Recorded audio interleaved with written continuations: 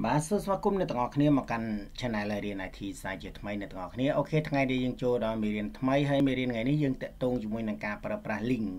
របស់ web menu របស់យើងអ្នកទាំងអស់គ្នាបាទហ្នឹងហើយ okay ថ្ងៃនេះញ៉ាំផ្លែទំពាំងបាយជូររៀងឈឺកបន្តិច okay ល្មើសករហូតញ៉ាំផ្លែហ្នឹង okay អញ្ចឹងថ្ងៃនេះយើងនឹងសិក្សាទៅលើអឺ website របស់យើងបន្តទៀតអ្នកទាំងអស់គ្នាហ្នឹងហើយតាក់ទងជាមួយនឹងអឺ menu នៅពេលយើងចុចទៅវានឹងបើកតាមអ្វីយើងចង់បានអញ្ចឹងណាអញ្ចឹងកន្លែងនេះខ្ញុំចង់ឲ្យវាជាលក្ខណៈអឺ active មានន័យថាយើងឈរលើ home ឲ្យវា load home ពើក្រហមអញ្ចឹងណាអញ្ចឹងដូចយើងបានសិក្សារួចហើយនៅមេរៀនមុនអ្នកទាំងអស់គ្នាបាទគឺតកតងជាមួយនឹង active នៅលើ home នេះអ្នកទាំងអស់គ្នានេះតែនេះអ្នកទាំងអស់គ្នាអញ្ចឹង active នឹងមានន័យថាយើងមកកាត់ class មួយនៅក្នុងហ្នឹងបាទយើងអាចដាក់ class នឹងអឺ ស្មើជាមួយនឹង active ឯទៅនៅដល់គេ active ហ្នឹងគឺចង់និយាយថាតកតងជាមួយនឹងយើងកំពុងតែឈរលើយើងកំពុងតែឈរលើមានន័យថាយើងកំពុងតែឈរទៅពឺអីចឹងណាអញ្ចឹងយើងមើលនៅកន្លែងត្រង់នេះអ្នកទាំងអស់គ្នាយើងមើលនៅកន្លែង menu ហើយយើងបានបន្ថែម class មួយដាក់ថា active អញ្ចឹង class active នេះអ្នកទាំងអស់គ្នាឲ្យវាពឺអី home នេះយើងចង់ឲ្យវាពឺអីអញ្ចឹងអ្នកទាំងអស់គ្នាចូលទៅកាន់ ID menu ឬ active អញ្ចឹងណា អូ sorry អញ្ចឹងអ្នកទាំងអស់គ្នាចូលដល់ ID menu មកបាទ menu មកទៅមកដក class active អញ្ចឹងណាអ្នកអស់គ្នាបាទ active active ដូច CA ចុចមួយមក active ហ្នឹងតែណាអស់គ្នាបាទហ្នឹងអញ្ចឹងយើងឲ្យវា color យើងយើងចង់ឲ្យវាពេលដែលវា active ហ្នឹងឲ្យវាចេញ color ឲ្យគេណាអញ្ចឹងខ្ញុំចង់ឲ្យ color ដែលវា active នោះឲ្យ color blue មកហ្នឹងហើយគេតើវា load អត់ឥឡូវយើងចូលទៅ refresh website យើងសិនអស់គ្នាបាទអត់ឲ្យ អត់មានប្រហែលជា website យើងមានបញ្ហាទៀតហើយឥឡូវខ្ញុំចូលមកមួយនេះមកអ្នកអង្គបាទហ្នឹងគេកុំតែខ្ញុំដូចជាចង់ error យ៉ាងណាទេអ្នកខ្ញុំអត់យល់ហើយនេះវាអត់ refresh ឲ្យនេះឥឡូវវា refresh ឲ្យខ្ញុំបើកសាមអត់អូខេឥឡូវខ្ញុំបើកសាមនេះអូខេបាទហ្នឹងហើយអីហ៎អញ្ចឹងពេលវា active នោះគឺវាឃើញវាវាឃើញណែអីពឹកពើពើខៀវអញ្ចឹងមក បើសិនអ្នកទាំងអស់គ្នាចង់ដាក់ជាលក្ខណៈ padding ណា padding ឬក៏អីមកអ្នកទាំងអស់គ្នាអាចដាក់មកណា padding ណា padding អញ្ចឹងមកណា padding 10ឬក៏50ឬក៏អីណា50 px អញ្ចឹងមកទៅណា background color ឥឡូវដាក់ background color មកអឺដាក់ពើនេះមកអញ្ចឹងណាអ្នកនរគ្នាបាទហ្នឹងអូខេឥឡូវសាកមើលនេះអញ្ចឹងមកអញ្ចឹងណា វាលុត background color ហ្នឹងមកប៉ុន្តែធំពេកណា padding ធំពេកអញ្ចឹងមកជាងដាក់ឲ្យតូចជាងហ្នឹងមកអ្នកនរគ្នាបានដាក់ឲ្យតូចជាងហ្នឹងមកក៏បានដែរអញ្ចឹង padding ដាក់តា25ហ្នឹងមកឧទាហរណ៍ទៅណាซึ่งអ្នកទាំងអស់គ្នាសេរីប៉ុណ្ណាក៏បានបើសិនអ្នកទាំងអស់គ្នាចង់ដាក់ padding ចេះនេះចង់ដាក់ចេះនេះចង់ឲ្យវាវាលោតពឿហ្នឹងឬមួយអ្នកទាំងអស់គ្នាចង់ឲ្យលោតពឿអីវិញក៏បានដែរឧទាហរណ៍ថាចង់ឲ្យលោតទៅជាពឿ អឺបើអក្សរពើ Q ទៅ background ពើសមកនេះអស់គេវាយមកហ្នឹងហើយអូវានេះហ្នឹងអស់គេឲ្យវាស៊ីគ្នាអញ្ចឹងមកអញ្ចឹងមកណាអស់គេវា load padding អញ្ចឹងមកអញ្ចឹងណាចឹងមានន័យថានៅក្នុងនឹងវាកំពុងតែឈរលើ home active នេះឈរលើ home active មួយនេះអ្នកទាំងអស់គ្នានេះចឹងអ្នកទាំងអស់គ្នានេះវាឈរលើ home active នេះអញ្ចឹងខ្ញុំចង់បង្កើតអឺនេះអឺ website ទាក់ទង object product ហើយនឹង about អញ្ចឹងអ្នកទាំងអស់គ្នាចូលទៅកាន់ website របស់យើងមកនៅក្នុងត្រាយនេះអ្នកគេនឹងនឹងឲ្យចូលមកក្នុង ZAM យើងនេះមកបាទយើងឈ្មោះ SAM PP ឈ្មោះណែ AT dot នេះអញ្ចឹងនៅក្នុងនេះខ្ញុំបានបង្កើតរបៅមួយប៉ុន្តែលុបចេញមកឥឡូវយើងបង្កើតម្ដងទៀតដើម្បីបង្កើតរបៅនេះអ្នកទាំងអស់គ្នាត្រូវ copy ហ្នឹងមកអ្នក copy ហើយផាសបាទផាសរួចអ្នកទាំងអស់គ្នា rename វាដាក់ថាអឺអីគេអ្នកទាំងអស់គ្នាចង់ដាក់អីគេកន្លែងនេះឥឡូវយើងមើលនៅក្នុង website យើង send object អញ្ចឹងអ្នកទាំងអស់គ្នាអាចដាក់ object មកការពិត menu អ្នកទាំងអស់គ្នាដាក់អីក៏បានដែរប៉ុន្តែឥឡូវខ្ញុំដាក់ object ឥឡូវខ្ញុំចូលត្រាក់ object send អ្នកទាំងអស់គ្នាយ៉ាឯណាចេះត្រង់ណានេះអញ្ចឹងកន្លែងនេះខ្ញុំរៀនដាក់ object ណា object ចឹងមកអញ្ចឹងអ្នកទាំងអស់គ្នាអាច edit object នៅក្នុងនេះនេះនៅក្នុងនេះនេះគឺនៅក្នុង index index នេះគឺជា website ផ្ទាល់របស់យើងដែលយើងប្រើអញ្ចឹងយើង open អានឹងមក open with របស់យើងមកនេះ open អឺ open with ជាមួយនឹង កូដរបស់យើងនេះមកនេះអូខេអញ្ចឹងនេះគឺជា index index គឺជា website របស់យើងមួយទៀតនេះគឺជា website home យើងនិយាយចំអចឹង object object ហ្នឹងគឺជា website មួយទៀតអ្នកនរគ្នាបាទហ្នឹងហើយអញ្ចឹងឥឡូវយើងកែទៅលើលើ object អញ្ចឹង object នេះអញ្ចឹងអ្នកទាំងគ្នាចង់ឲ្យវា active ឲ្យគេវិញនេះ div class active ចង់យកវាមកដាក់កន្លែងណាវិញឥឡូវចង់យកវាមកដាក់អីគេនេះ copy យកខាត់វាមកយកវាមកដាក់កន្លែងនេះវិញនេះអ្នកនរគ្នាចង់ឲ្យវាបញ្ចូលលើ active វិញតែអ្នកនរគ្នានេះយើងចូលលើ object ដាក់លើនេះមកបន្ទាប់មកទៀតអ្នកទាំងអស់គ្នាត្រូវដាក់ link មួយនេះ link នេះ link នេះគឺជា link របស់ web website អញ្ចឹងកន្លែងនេះអ្នកទាំងអស់គ្នាដាក់អីគេដាក់ថា sorry កន្លែងនេះអ្នកទាំងអស់គ្នាត្រូវ link ឲ្យត្រូវត្រូវ link កន្លែងនេះឲ្យចូលមក object អញ្ចឹងអ្នកទាំងអស់គ្នាដាក់ object មក object នេះ HTML ដាក់អញ្ចឹងមកណានេះនេះ link មកយើង object HTML អញ្ចឹងពេលអ្នកទាំងអស់គ្នាចូលទៅកាន់ website នេះមកនេះអញ្ចឹងនេះគឺជា index យើងចូលលើ index អ្នកទាំងអស់គ្នានេះយើងចូលលើ index ចឹងពេលអ្នកទាំងអស់គ្នាចុចលើគេ object sorry អឺបើយើងចុចលើ home វានឹង load មក object ចឹងខុសអ្នកទាំងអស់គ្នាចឹងកន្លែងនេះគឺខុសឥឡូវម្ដងទៀតអ្នកទាំងអស់គ្នាអញ្ចឹងយើងឈរលើលើ home អញ្ចឹងយើងត្រូវចុច index ចុច index នេះដើម្បីឲ្យវា run ទៅទៅបើក website របស់អីគេ website របស់អឺ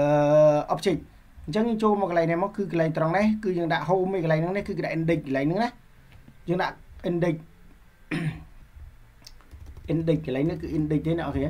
index HTML ហើយត្រង់កន្លែងនេះត្រង់កន្លែងនេះអ្នកទាំងអស់គ្នាដាក់ថា object ហ្នឹង object អញ្ចឹងពេលអ្នកទាំងអស់គ្នាចុចទៅវានឹង load មកកាន់ project object មួយនេះតែម្ដងតែអ្នកនរគ្នានេះ project object នេះហើយកន្លែងនេះគឺដាក់អីគេ home home នេះគឺ index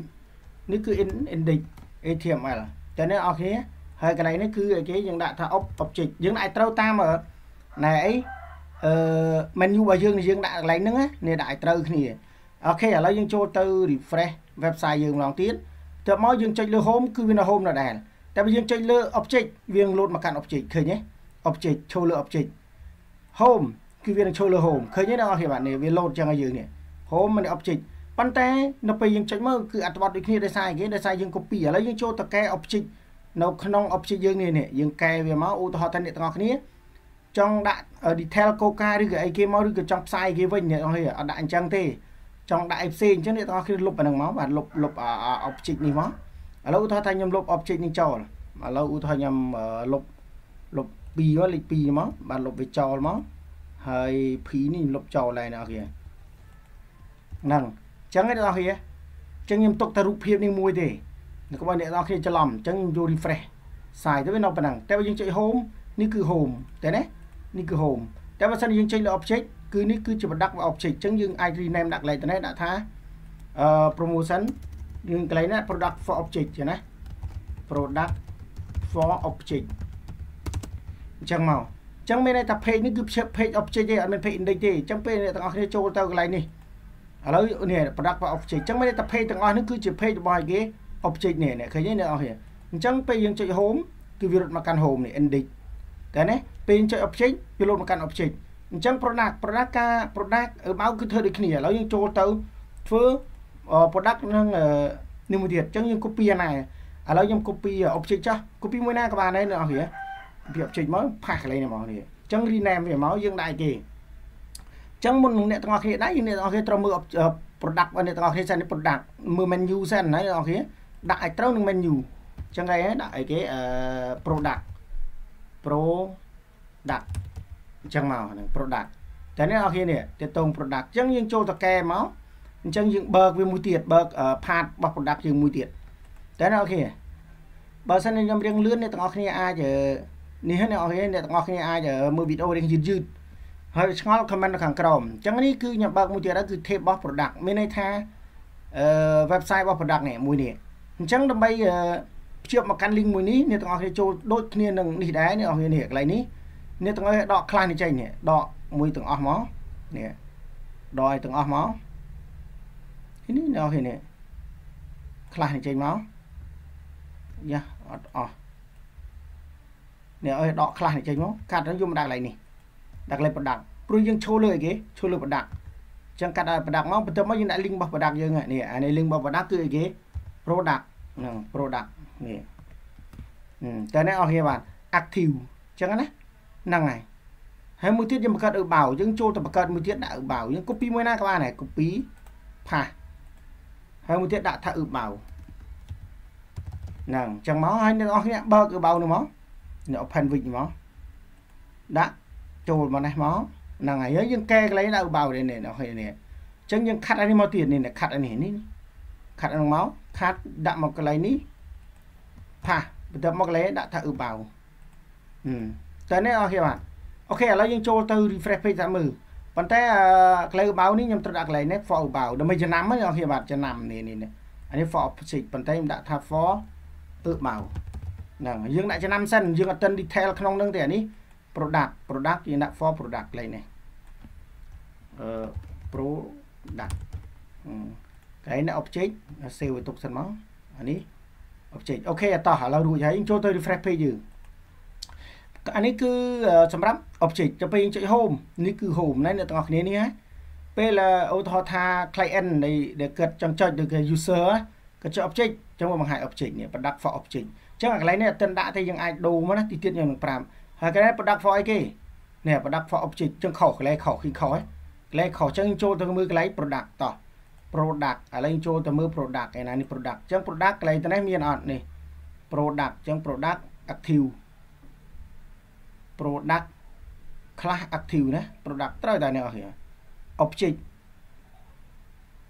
សំតើឲ្យចាំតិចអឺអានេះគឺយើងដាក់ object ចូលលើ object តែណា product product HTML ដក active ត្រូវតែអ្នកអរគ្នាអូខេឥឡូវខុសខ្លីទៅណាឥឡូវយើងចូលទៅ refresh ម្ដងទៀតអរគ្នាបាទអញ្ចឹងពេលចុចលើ product វាត្រូវចេញ product មិនទៅ for object បៅអត់ចេញទេណាវាអឺប្រហែលជាយើងខុសកូដលេខណាមួយឥឡូវយើងចូលទៅមើលសិនអ្នកទាំងអស់គ្នាokay ឥឡូវយើងមើល about about link ឈរលើ about ឃើញទេ អូ sorry អ្នកទាំងអស់គ្នាដោយសារតែនៅនៅក្នុងហ្នឹងគឺយើងអាចបានដាក់អញ្ចឹងកន្លែងនេះយើងត្រូវដាក់ទាំងអស់នេះគ្នាទាំងដាក់ product មួយទៀត okay ត្រូវដាក់ទាំងអស់ product ឃើញទេ product នេះមកនេះអឺ sorry តែស្អីអត់បាន link ពីនេះទៅវាចុចទៅអត់មានអត់មានអីត្រូវ link ទេពីពី home page ទៅ product product HTML យកមកអានេះបៅដាក់បៅ HTML មកនេះតែនេះដាក់ទាំង4ចឹងណានេះនៅក្នុង home page យើងហើយ object ដូចគ្នាដែរកន្លែងនេះគឺយើងដាក់តាក់ទងជាមួយនឹងអីគេ product អញ្ចឹងត្រូវដាក់ product ដែរដើម្បីឲ្យវា run អីគេវា run rotate ណាអ្នកនរគ្នា product អានេះដាក់អឺបៅដែរអឺបៅអានេះ page នេះយើងបង្កើតទៅវាចេញឲ្យយើងហើយហើយកន្លែងនេះ product product កន្លែងនេះអឺបៅទៅដាក់អឺបៅមកអូខេ save បន្ទុកមកតែមិនដាក់អស់ហើយអូខេតោះយើងចូលទៅ refresh ម្ដងទៀតអ្នកនរគ្នាអញ្ចឹងពេលចុច home អ្នកនរគ្នាឥឡូវយើង refresh home សិនអ្នកនរគ្នាអញ្ចឹងពេលចុច home មកឧទាហរណ៍ user ចង់ចុចគេ object ពេលចុច object មកវា load object ឃើញទេនេះ object តែពេលចុច product មកវា load for product ឃើញទេ ចុចពេលចុច about វា load for about អញ្ចឹងអាអាប្រដាប់ចុចហ្នឹងគឺវា load អញ្ចឹងឲ្យយើងឃើញទេអ្នកនរគ្នាបាទនេះនេះចុចមកវា load អញ្ចឹងនេះវា refresh page ហើយអ្នកទាំងអស់គ្នាអាចមើល link របស់វានៅលើហ្នឹងពេលចុច object link របស់វាគឺ object ជា product link របស់វា product ហើយចូលមកនេះអឺបៅអញ្ចឹងអឺបៅមកតែនេះអ្នកនរគ្នាអញ្ចឹងអឺ website គេធ្វើអញ្ចឹងអ្នកនរគ្នាបាទគេធ្វើអញ្ចឹងណាអ្នកនរគ្នាតាក់ទងជាមួយនឹង website គឺយើងសរសេរកូដអញ្ចឹងហើយ menu យើងបានធ្វើរួចហើយនេះ menu យើងបានធ្វើរួចហើយ អញ្ចឹងតាក់ទងជាមួយនឹងកូដនៅខាងក្នុងនេះនេះកូដខាងក្នុងនេះអញ្ចឹងអ្នកទាំងអស់គ្នាត្រូវ design យ៉ាងម៉េច design ទៅឲ្យស្អាតអញ្ចឹងអ្នកទាំងអស់គ្នានេះ design កន្លែងនេះ design យ៉ាងម៉េច design ទៅឲ្យស្អាតអាស្រ័យលើអ្នកទាំងអស់គ្នាហើយកន្លែង read more នេះពេលអ្នកទាំងអស់គ្នា read more យើងប្រើកូដមួយទៀតឥឡូវខ្ញុំភ្ជាប់ read more ឲ្យអ្នកទាំងអស់គ្នាមើលតែម្ដងអ្នកទាំងអស់គ្នាតាក់ទងជាមួយនឹង read more នេះអញ្ចឹង read more អ្នកទាំងអស់គ្នាយកមួយណាមកឧទាហរណ៍ថាអ្នកទាំងអស់គ្នាត្រូវយក read more អញ្ចឹងអាចដាក់នៅក្នុង folder មួយក៏បានដែរ folder ដាក់ detail មក ឬមួយអ្នកទាំងអស់គ្នាដាក់ read more ទៅណា read more ហ្នឹងនេះអាស្រ័យលើអ្នកទាំងអស់គ្នាដាក់ទេឥឡូវយើងបង្កើតអីគេឥឡូវខ្ញុំ copy product នេះមួយមក copy មកនេះឥឡូវ copy index វិញចឹងណា copy index វានៅច្រើនណាដាក់នៅក្នុង read more ផាសអញ្ចឹងខ្ញុំ rename មកខ្ញុំដាក់ថាអឺអីគេអឺ read more read more មួយចឹងឧទាហរណ៍ដៃដាក់ទៅចឹងណាអញ្ចឹងយក open មួយសិនមកដើម្បីទៅតកែណាចូលតកែវាចូល visual របស់យើងនេះមកឥឡូវចូលតកែនេះអស់គ្នាកន្លែងហ្នឹងគឺយើងត្រូវដាក់ read more នេះនេះអឺពេលចុច link នេះនេះ read more អញ្ចឹងកន្លែងនេះនេះកន្លែងត្រេះអ្នកទាំងអស់គ្នាត្រូវ read more នេះកន្លែងនេះនេះ read more ប៉ុន្តែបើអ្នកទាំងអស់គ្នាដាក់ read more អឺយើងត្រូវចូលទៅកាន់ menu មួយទៀត folder folder ប៉ុន្តែនេះអត់ឲ្យអញ្ចឹងយើងដាក់ read more ចឹងមកបើវាអត់ឲ្យយើងគិតទៀតណាអស់គ្នាបាទហ្នឹងហើយអូខេឥឡូវយើង refresh មក អញ្ចឹងយើងអត់ភ្ជាប់ពេលចុចបើកមកគឺ read more អូខេអត់ឲ្យទេនេះអស់គ្នាអត់ឲ្យទេឥឡូវម្ដងទៀតអត់ឲ្យទេដោយសារតែអីគេបាទឥឡូវយើងចូលទៅមើលសិនអូអានេះវានៅក្នុង read more read more អញ្ចឹងយើងអត់ទាន់បាន link ទៅកាន់ read more ទេនេះយើង index នេះយើងយកកន្លែងនេះដាក់ read more នេះតែនេះយើង link វាទៅ read more បន្ទាប់មកយើងយក read more យ៉ា sorry អ្នកនរគ្នា នេះ HTML read more អានេះគឺចឹងហើយយើងចូលមកកាន់ folder យើងរួចយើងចូលទៅកាន់ website របស់យើង